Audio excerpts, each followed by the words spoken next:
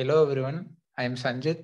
Uh, I, I have completed my uh, BE Computer Science and Engineering in Kongu Engineering College, Perundurai. Uh, today we are going to discuss uh, about uh, uh, brain stroke identification using deep learning. Um, my team members are Poongundran and Pranesh and guided by uh, Miss C. Sh- Sharmila. Next slide. Uh, let us see about what is deep deep learning is a part of uh, machine learning methods based on uh, artificial neural networks with representation learning. The adjective deep in deep learning refers to the use of uh, multiple layers in the network. For example, in uh, image processing, lower layers may identify edges while uh, higher layers may identify with uh, the concepts relevant to a human, such as digits or letters or faces. Next slide. These are all the steps in deep learning in which we get the data and we'll manipulate the data and uh, as a third step we'll uh, train the model and uh, as well as we test the data. And then we will improve the gained accuracy. Next slide. Um, this one was our project overview. Um, this research uh, the main aim of this research is to um, emphasize the huge impact of deep learning models in brain stroke detection and lesion segmentation deep learning techniques have a significant impact on a diagnosis uh, and uh, prediction of stroke. The medical field also uh, have great benefits from uh, use uh, from the use of uh, improving deep learning models, which saves the time and as well as produce the accurate results. Next slide. This one was the literature survey. this one we have given the title of the paper author uh, and the algorithm they have used and the accuracy of that uh, particular paper. Uh, next slide. In the existing system, they have used DWA dataset.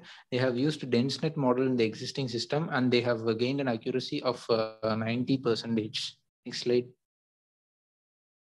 So problem state statement. Uh, the treatment of acute uh, uh, ischemic stroke uh, Uh, it has uh, uh, it must be predicted soonly as well as possible. And we must produce better treatment for the patients. There is a great significant uh, clinical significance in the study of uh, automatic identification. Um, there is an urgent need for a faster, uh, more accurate automatic lesion segmentation methods, Uh, which ensures that uh, more patients can be treated with a short period. Due to the significant number of uh, 3D U-Net parameters, it is difficult to train the model with insufficient training data. Next slide. next slide will be explained by Poongundran proposed proposed area mm, the input images is get from the user and after the images is sliced into by using slicing. After that it is arranged by using the stacking process and fusion technique by using 2d images uh, converted into using fusion technique by 3d images. After we detect the stroke identification next slide. Data set acute lesion segmentation is the critical for the stroke rehabilitation for the both quantification of the lesion burden and acute processing. Mm, in this dataset, we are using Atlas dataset.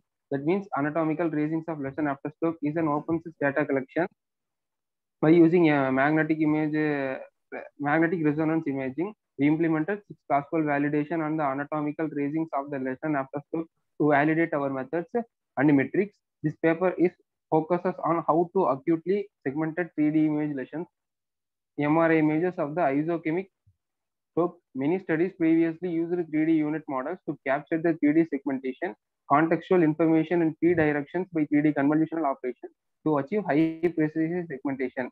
However, due to the significant number of 3D U-Net parameters, it is difficult to train the models with insufficient training data. At the same time, the huge amount of the parameters also lead to the unaffordable computation and storage requirements, which made 3D U-Net to be avoided as much as possible recently. Next slide. The images is partially um, classified into three axial plane wise, sagittal plane wise, and coronal plane wise. Each image, each brain MRI scan is um, nearly 200 slices in one plane direction, and the graphical feature of these slices from the different brains or regions are different. This can lead to the diffi difficulties in representation and insufficient representation. By using these models, considering that the, among these brain slices, many adjacent slices have uh, graphical similarities in some regions, putting slices that are graphically similar together for the training and prediction can greatly improve the segmentation and represent the ability of these slices. This benefit arises because the feature of these slices can each model focuses on more specific. After that, we get um, these are the parts of the uh, st stacking prediction fusion. Um, first of all, uh, images is uh, sliced into the three plane wise. After that, uh, images are predicted, predicted and uh, arranged into the stacking process. Finally, we get the soft voting technique uh, to find where the brain stock has occurred.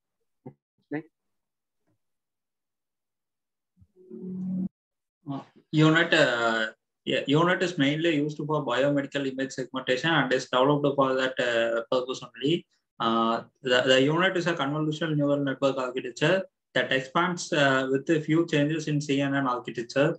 Uh, the U-Net is an improved uh, network architecture have shown tremendous success in segmentation of various biomedical images such as liver, skin lesion, uh, kidney, and so on.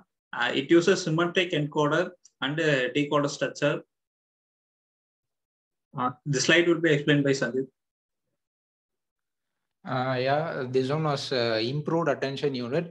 Uh, uh this one was the architecture of the, the uh, improved attention U-Net. Uh, first, we'll take the input image and we'll do the following process and we'll get the output image. In that output image, you can see we'll accurately have predicted the stroke lesions and uh, improved attention U-Net is nothing but it is mainly used for uh, improving the accuracy in the image processing next next slide. Uh, the modules of our projects are collection of data set repassing the images uh, image segmentation uh, at last uh, stock identification. This is our accuracy graph. We got the accuracy of 98.2 percentage this is our last graph.